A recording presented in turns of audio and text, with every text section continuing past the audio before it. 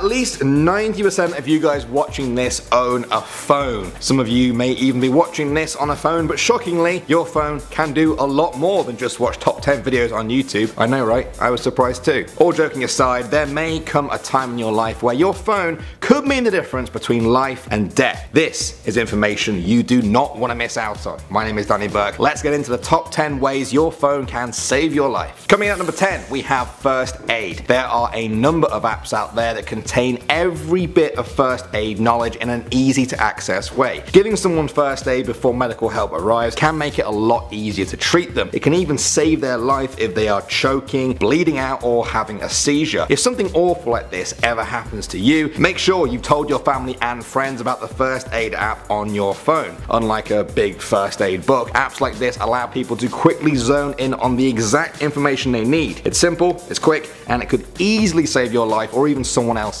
Alright, at number 9 now we have Hey Siri. Siri is the assistant for iPhones. Other phones have their own versions. Either way, they can save your life. I'm sure you know you can activate Siri using just your voice. I use it to ask Siri what the weather will be as I'm getting dressed in the morning, but there is a life-saving use for it too. If you're ever in a situation where you just can't use your hands or you can't reach your phone, talking to Siri might be your only option. You can tell Siri to call or text any number, or if the person is already in your contacts list, you can just say their name. And it could save your life. At number 8 now, we have medical ID. For a long time, if a person got into an accident or they needed medical help, one of the first things that doctors, nurses, or paramedics would check would be the patient's medical ID card, usually in their bag or wallet or whatever. Nowadays though, there's an app for that. The health app, for example, will instantly tell medical staff what your allergies and reactions are, what your blood type is, and who they should contact to let them know what has just happened. Simply knowing these things can save them precious seconds so that they can save you. At number 7 now, we have downloading offline maps. This is something that everyone should do because it just makes sense. If you're ever going to somewhere new or unfamiliar, perhaps a foreign country where you won't have phone signal, Google lets you download offline maps. All you have to do is tap on any location and you'll see an option to download the entire area for just a few hundred megabytes. If you're scared of getting lost in a strange place and not knowing where you are, offline maps can be a lifesaver. At number 6 now, it can detect Parkinson's disease. Parkinson's is a degenerative disease that can be treated a lot better if detected early. Well, there's an app for that now. The Pocket Doctor app can detect Parkinson's simply by just being in your pocket. All you do is walk 20 steps and it will tell you with 98% accuracy if you are in the early stages of Parkinson's based on tiny micro movements that you couldn't notice otherwise. It also uses speech to detect tremors in your voice long before other symptoms arrive. This gives patients an early warning system that could vastly improve their treatment. Coming at number 5 now, we have Lifeline Response. This app sounds like something out of a futuristic movie, or maybe I'm just getting old. This is for people who feel unsafe when they are out and about, especially if they're on their own or it's dark. If you feel threatened, you simply hold your thumb down on the screen for an amount of time that you can decide on, and once you let go, it will send your location to your family or friends, or it can even call the police for you. This is great if you ever find yourself in a situation where you can't just say, hey Siri,